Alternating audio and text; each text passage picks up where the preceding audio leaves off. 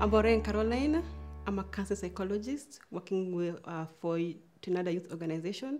We are partnering with uh, Ponea Health and we'll be talking about conduct disorder among children. Conduct disorder from the word conduct. It's just the way somebody is supposed to behave. And basically, we're talking about children here, the way children behave in their day to day normal life. And disorder is just getting out of the way they're supposed to be behaving. Conduct be, be, uh, disorder comes in a very particular behavior or traits that will sometimes confuse people.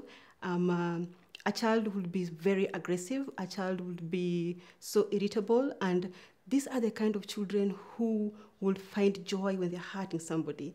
They will have problems with authority, they will have problems with their parents, they steal a lot and they lie a lot, and they are very charming conduct behavior comes in a way that before you know a child has a behavior, you wouldn't even believe it because they are so calm and they're very calculative and they like putting blames on other people until when you find out later that this child actually has a disorder.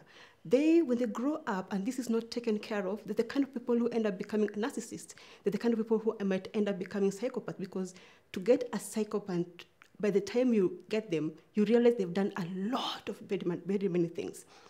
And so you cannot di diagnose a child with conduct behavior until they reach the age of six.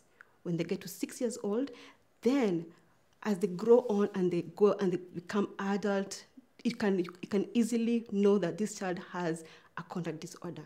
Many parents will not know about this. Like I mentioned before, they are very sly, very charming, and very loving people.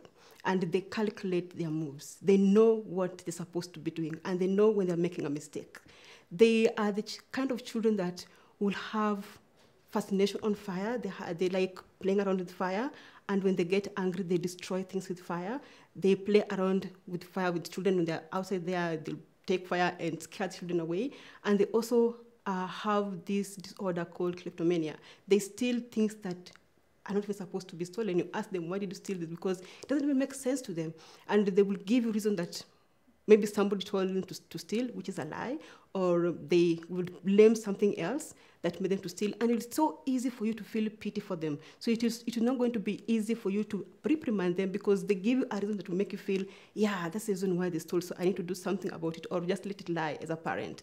But if you are not keen with the behaviors of this child, this child might end up being a very, very dangerous person in future. Thank you everyone for watching. I hope you have learned a lot from each other. If you want to book my services, you can always do that through ponea.com. You will get me, you will be referred to me, and we will be able to continue with this topic or anything that might be disturbing you psychologically.